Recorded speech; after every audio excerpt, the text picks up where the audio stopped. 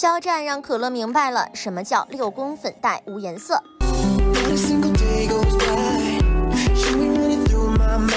就这个颜值，要是在古代，妥妥的红颜祸水啊！而且战战的那种美是纯净的美，是一个可以形容男人的美，既美艳又不娘，能 A 能萌，能娇能甜。肖美人的称号果然名不虚传，大家肯定都认为战战的肖美人是在演过《魏无羡》之后才流传的。其实这个称呼流传已久了，考古的时间都可以追溯到他正式出道前了。战战在出道前曾经和《燃烧吧少年》的其他选手上过一档少年频道的节目。他们需要按照要求在这个节目中玩游戏通关，而小美人就是从这里来的。其中有一期，战战需要反串一个角色，那就是《还珠格格》里面香妃韩香。肖战不需要整体换装，但是需要戴上韩香的代表物香妃帽。一般来讲，这种带流苏的香妃帽都是小女生才戴的东西。但是因为节目要求，肖战必须 cos 香妃出场，还要和蒙丹彭楚乐对戏，可以说是非常有意思了。不过，当他戴上香妃帽之后，整体造型毫无违和感不说，反而还带着一点点的可爱。因为肖战本身就很帅气，再加上当时只有二十多岁的战战，还带着一点婴儿肥，从上到下都是满满的少年感，看起来软乎乎的，搭配上这个白绒发饰，更显得好看。所以从这以后，肖战就有了“肖美人”这个称号。即使后来的肖战有了 N 多个外号，但是这个“肖美人”始终没有被大家遗忘。至今仍然是粉丝们心中的一片白月光。在 X 九少年团里，战战就是队内的颜值担当。在队友被问你们心目中的女神是什么样子的呢？战战就是我女神。哦，肖美人。当时大家就叫她肖美人了。而且之前她还是学校的校草，很有名气。据说很多女生都偷偷去看她。但是肖战对自己的外貌认知实在是太过浅薄，因此也没怎么承认过自己好看。不过优秀的外貌大家都看在眼里，肖战不自知就不自知去吧。之后，他在《哦我的皇帝陛下》中饰演的北唐墨染，一出场就惊艳了不少人。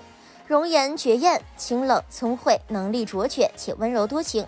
试问这样的人怎能让人不惊艳？怎能让人不沉沦？这也坐实了他“萧媚人”的称号。小王爷第一次出场时，那一抹低头轻笑，令人印象深刻。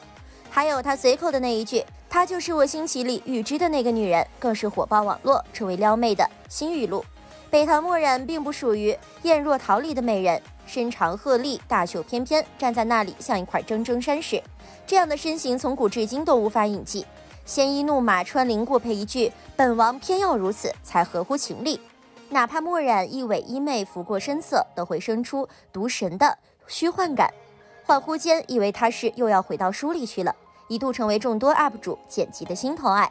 而看过战战的魏无羡之后，肖美人就被更多人知道了。潇洒不羁的魏无羡让大家对撩又有了一个新的认知。少年线活泼调皮，老祖线的红衣如画，又帅又美，而且一点都不娘。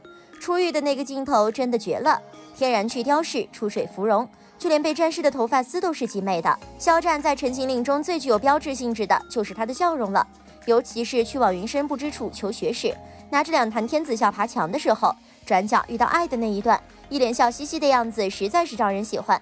最关键的是，还敢在这样一个高冷的人面前想要用酒求放过。战战可爱的笑容，简直就是这个世界上最大的治愈悲伤神器。倘若你不开心的话，看看肖战那魔力的笑容，一切烦恼都会烟消云散哦。还有抱兔子的笑，肖战一袭白衣抱着兔子的模样非常呆萌，还对着兔子微笑。看到他微笑，心底阴霾一下就不见了。在听学课堂上的撩闲笑也超赞。让魏无羡老老实实坐在课堂上听讲，还真是很难。听学第一天就从聂怀桑处发现了调皮捣蛋的乐趣。课堂逗鸟，亏他俩想得出来。见蓝湛转头看他，魏无羡还兴高采烈地挥手打招呼，被蓝湛赏了个恶狠狠的眼神。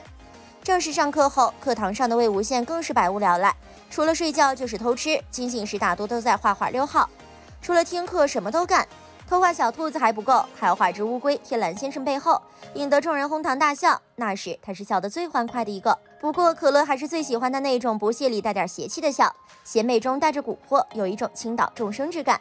这种笑容常出现在魏无羡要放大招的时候，比如使用邪气对付屠戮玄武，比如面对金子勋这样的狂妄之徒，比如他胸有成竹藐视一切的时候。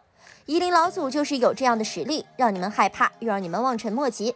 每次魏无羡露出这样的邪魅一笑，都有一种世间百媚千红都不及你笑颜如花之感。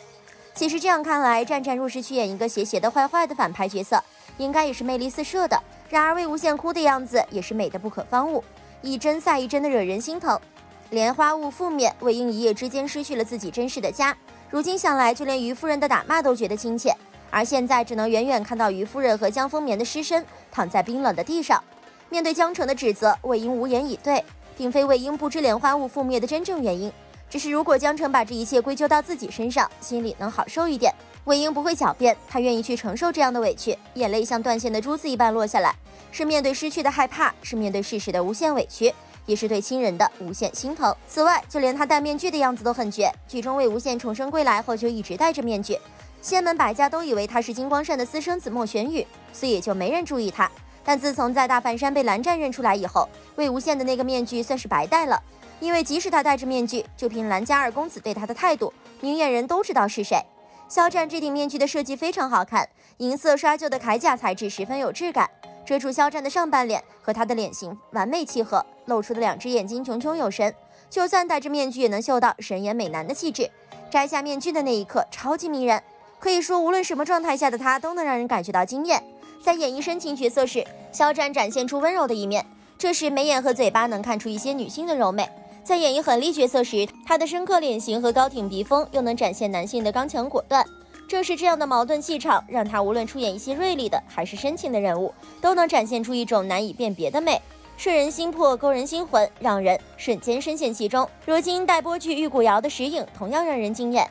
海报中，肖战饰演的空桑世子石影，身着紫衣，眉头微蹙，手持玉伞，拾阶而上，氛围感十足。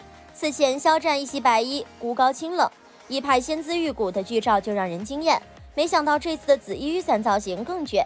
他在物料当中一闪而过的水中戏份也格外引人注目，因为泡在水中的他又再度让人惊艳了。因为他的状态看上去真的很不错，从近距离镜头看去，真的水灵灵的，眼睛也是明亮且透着光，宛若出水芙蓉。果然能打败肖战古装的，只能是他的下一个古装。不得不说，肖战的古装真的很抗打。之前有粉丝前去探班，当时肖战的古装头套还没有摘下来，留着妹妹头造型的肖战看上去十分漂亮。他身穿黑白格子衬衣，长长的刘海遮住了漂亮的额头。一般来说，这种长发古装造型对颜值和五官的要求是很高的。而肖战的五官比较柔和，眉眼都十分精致漂亮，所以即便换上妹妹头造型也不会很违和，只会让人觉得很漂亮。